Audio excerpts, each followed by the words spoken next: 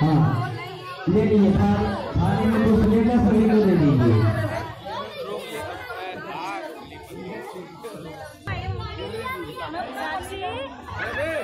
पूरे पन्नी नहीं फाइनल होगा। पूरे मालिक वाला